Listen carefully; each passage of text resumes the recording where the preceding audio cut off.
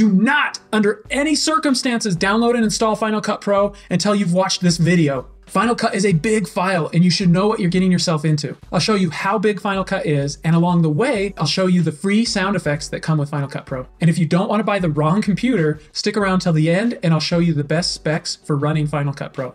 The first and fastest way to see how big it is is go to the App Store and search for Final Cut Pro. Click on it here, and you'll see over here the size. It's 3.4 gigabytes. All right, we can verify that too by downloading the trial. I'll just click here, download now, and you can see right here down in the corner, it says it's 3.2 gigabytes. Pretty close. Let's take a look at the size of it when it's installed. So I'm in my applications folder and I've got Final Cut Pro selected here. I'll press Command I. It opens up this info window and you can see right here, installed, it's at 4.28 gigabytes. Now it's a little bit bigger because I've installed the supplemental content you get once you buy Final Cut Pro. Once you've bought Final Cut Pro, you can download these extras.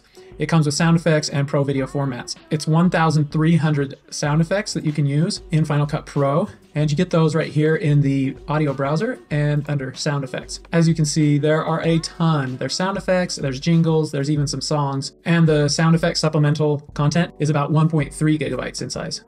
That's a big file. That's a lot of sound effects. If you're excited to get your hands on that, and this has been helpful so far, will you please give this video a thumbs up? That way others will see the video too. Thanks, and in just a little bit, I'm gonna show you the perfect specs for video editing, but first, let's look at the minimum required specs Apple says you should have.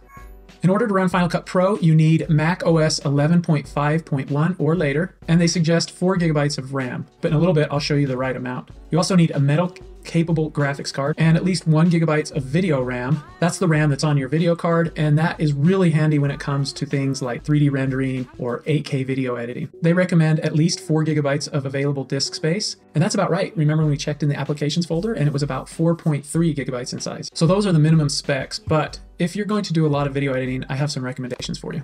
Let's take a look at these here. We have a MacBook Air, a MacBook Pro, and a Mac Pro. Let's go down here and look at the cores. So the Mac Air has a 4 core in it, the MacBook's a 12, and then the Mac Pro is 28. So your CPU, that's like the brains of your computer, it has these different number of cores in it. And the more cores, the better, or the faster it is. So when you're looking at the CPU, try and get something with more cores in it and a faster clock speed. I would say 8 cores is a good start for video editing, but the sweet spot is like 12 to 16 cores. All right, let's talk about RAM. The more, the better. Apple recommends 4 gigabytes or 8 if you're going to do 4K editing or 3D titles. However, I recommend if you're going to do some casual video editing, go for 8 gigabytes of RAM. If you're going to do it regularly, then go for 16.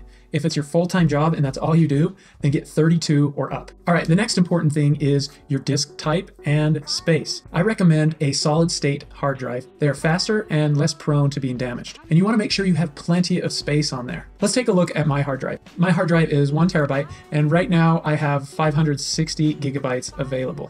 You want to make sure and have room open on your hard drive. Otherwise, you'll get these error messages saying Final Cut Pro doesn't have enough space. So I recommend at least one terabyte solid state drive.